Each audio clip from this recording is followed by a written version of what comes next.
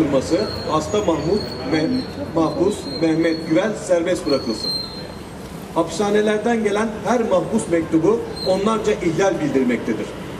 Tedavi ve sağlığa erişim hakkı yanında hapishanede tedavi ve bakım imkanı sağlanmayan hasta mahpuslar için yasanın verdiği serbest bırakılma ve dışarıda tedavi edilebilme hakkı da diğer temel haklar gibi ihlal edilmekte.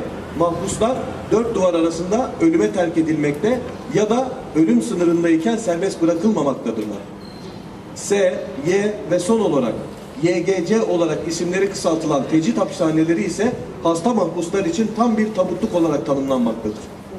Bu tecrit tipi hapishanelerde mimari yapı ve uygulanan infaz kuralları ile mutlak tecrit hedeflenmekte, mahpusları yalnızlaştırmak, dışarıdaki bağlarını kesmek ve ailelerinden uzak tutmak istenilmektedir. Bugün sağlık durumunu paylaştığımız Mehmet Güven ve tüm hasta mahpuslar için bu tip hapishanelerde tutulmak ölüme davetiye çıkarmak olarak görülmekte. Bu hapishaneleri ölüm evi olarak adlandırmaktadırlar. 630. F oturmasında bu hafta halen Buca Kırıklar Yüksek Güvenlikli Ceza İnfaz Kurumu'nda tutulan 78 yaşındaki Mehmet Güven'in durumunu paylaşıyoruz. 78 yaşında %80 engelli hasta Mahmut Mehmet Güven, Wernicke-Korsakov sendromuna bağlı hareket ve denge sorunu yaşamakta ve yaşamını Mehmet Güven denge sorunu, hafıza sorunu yaşayan birisiydi ve bu halde tutuklandı. Şu anda Buca Kırıklar Yüksek Güvenlikli Hapishanesi'nde kalıyor ve bulunduğu hapishanenin, hapishanenin şartları da çok ağır. Mehmet Güven'in yanında Cem Dursun ile Oktay Kelebek kalıyor.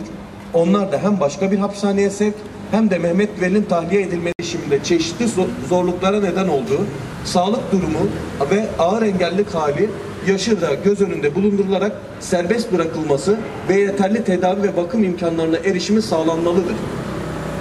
630 F oturması kapsamında bu hafta ağır hasta, yaşlı ve engelli mahpus Mehmet Güven ve bütün mahpusların tedavi hakları önündeki engellerin kaldırılması, serbest bırakılarak sağlık ve yaşam haklarının korunması için yetkilileri göreve, kamuoyunda duyarlılığa çağırıyor. Hasta